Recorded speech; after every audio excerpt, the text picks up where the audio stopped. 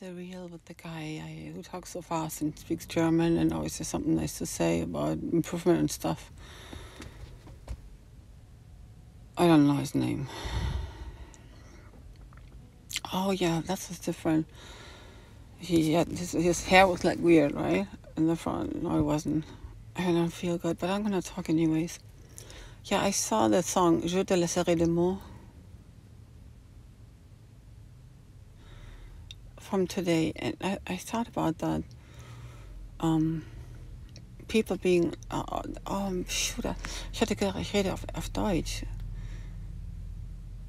Ich denke nicht, dass das ein Deutscher ist, weil die denken doch überhaupt nicht darüber nach, über solche Sachen. Die sind doch total eingefahren. Ich weiß es nicht, ich war schon lange nicht mehr da. Ich habe darüber nachgedacht, als ich noch in der, auf dem Gymnasium war. Über, über, über die, die wirkliche, die für wahre Situation in Deutschland oder überhaupt im Leben dass die, dass die Leute, dass es ja ganz schön hart ist, aus der Schule rauszukommen. Was macht man denn jetzt?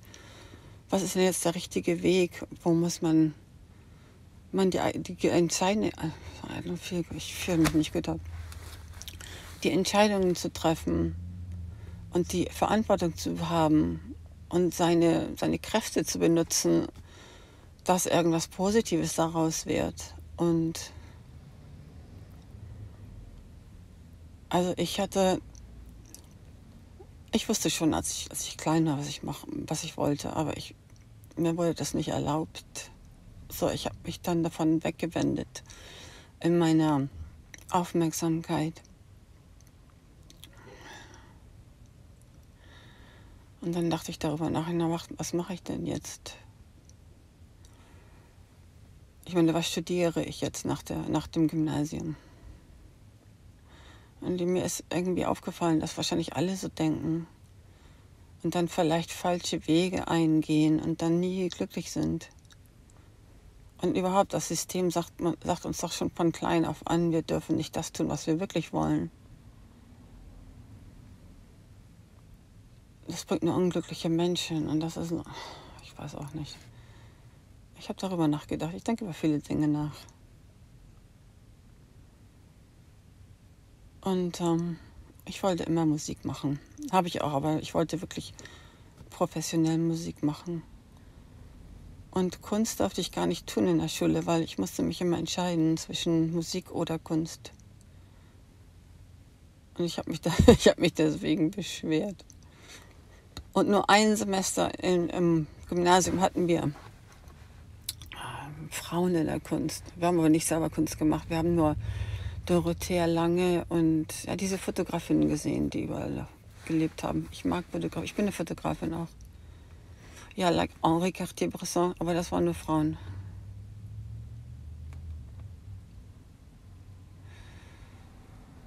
Hm. Und nach dem Gymnasium habe ich gedacht, ich wusste eigentlich schon, dass. Okay, zuerst hatte ich gedacht, ich mache Anthropologie. Puh, ich war immer sozial eingestellt macht natürlich überhaupt keinen Sinn. Und dann hatte ich geplant, nach Mexiko zu ziehen, also nein, keine Universität mehr. Und in Mexiko habe ich es versucht und habe ich gedacht, ja, vielleicht Grafikdesign, finde ich auch gut. Und das hat nicht geklappt. Und dann später wollte ich ähm, Cinema studieren, Kino. Und ich wurde dazu überredet, äh, ich weiß gar nicht, wie das auf Deutsch heißt, Tronco dann gekommen bin. Ähm, okay, ich bin im Wintersemester. Ich hatte, ich hatte, ich rede nicht so, meine Freundin Waltraud redet so. Ich bin im Wintersemester angefangen. Das ist nicht aus Hamburg, das, das ist vom Süddeutschland. Das ist nicht richtiges Deutsch. Komisch. Ich bin. Ich hatte im Wintersemester angefangen und im Wintersemester war, das heißt auf, Mexi, auf äh, Spanisch Communicaciones, Communication.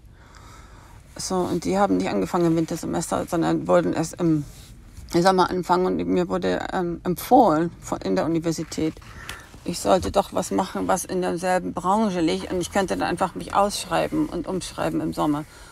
Und das war schon, das war so schwer, überhaupt anzufangen zu studieren. Ich hatte gedacht, ich will jetzt nicht noch ein halbes Jahr warten, ich mache das jetzt einfach. Und deswegen bin ich in Relaciones Internationales, International Relationship gelandet. Und ich habe mir nie darüber ähm, Gedanken gemacht, was für ein Beruf das sein könnte. Weil ich bin mir das, ich meine, Diplomat das hört sich natürlich gut an, aber man kann nicht ein Diplomat werden in einem fremden Land. Das ist mir schon bewusst.